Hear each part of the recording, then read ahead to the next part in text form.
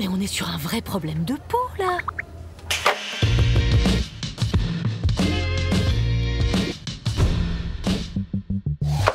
Made in Japan, la grande odalisque doit son teint herbeux à son créateur Martial Reis. Nous sommes en 1964 et ce petit Frenchie de 28 ans vient à peine de s'installer à Los Angeles. Ah, les années 60 et la période hippie.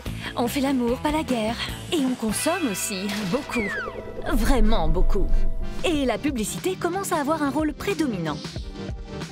C'est en réaction à cette nouvelle ère que le pop art et le nouveau réalisme voient le jour. Et Martial Reis en est considéré comme l'un des jeunes représentants. Il se lance dans le pastiche et c'est pas fastoche. Ici, c'est une toile d'Ingres, grand peintre néoclassique qui en fait les frais.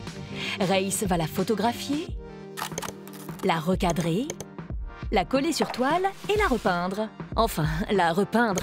L'artiste va essentiellement utiliser des bombes de peinture acrylique criardes pour coller au mieux au code publicitaire de l'époque.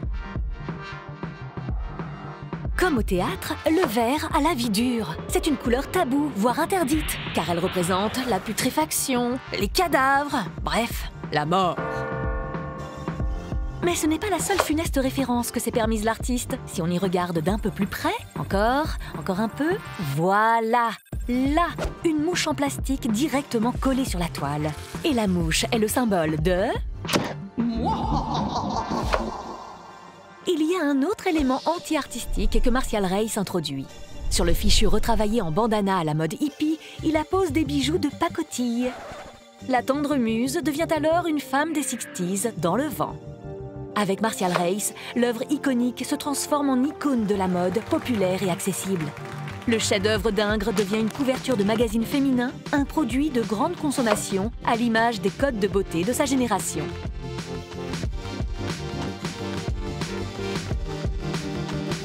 Pas étonnant que Martial Reis soit devenu le plus pop art des artistes français, au même titre qu'Andy Warhol ou Roy Lichtenstein. Mais ça, c'est une autre histoire.